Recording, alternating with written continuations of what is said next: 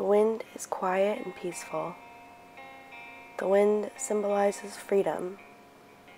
It speaks to me in silent words. It tells me the tales of time. I can feel it brush past me and I feel less alone. Walking down a dark street, nearing close to midnight.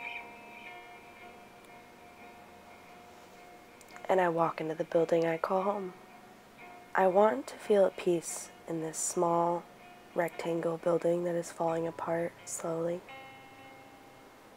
I relate to this fact.